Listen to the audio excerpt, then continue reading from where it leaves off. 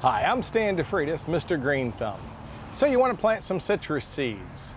Almost every citrus has seeds, and most of them you can cut through and you'll find the seeds in the middle.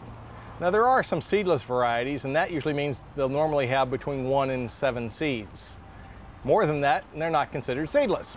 But from those seeds, need to take them out, put them on a dry paper towel, and put them into a good sterile mix, a peaty, perlite type soil a good mix that you can get at almost any nursery, garden supply store. Remember with those little seeds, they'll probably germinate in about three to four weeks. So plant them about a quarter inch deep. That's about one time the depth of the thickness of the seed. And plant it in a good soil where it's getting good moisture. Keep those seeds moist and make sure it gets good sunlight. Sunlight will help because as soon as those little seedlings come out, well, they'll need to start producing energy for your citrus.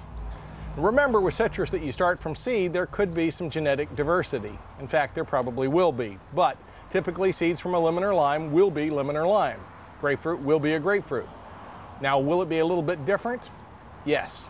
And they normally have larger thorns on a seedling tree than a grafted tree. And they normally go more straight up and don't spread as much. So there may be some disadvantages to being Johnny Appleseed with citrus seeds, but on the other hand, it's fun to do. It's neat to see that miracle of life as that citrus has grown from your own little seed. Growing seeds is something you should try, and citrus are easy. I'm Stan DeFreitas, Mr. Green Thumb.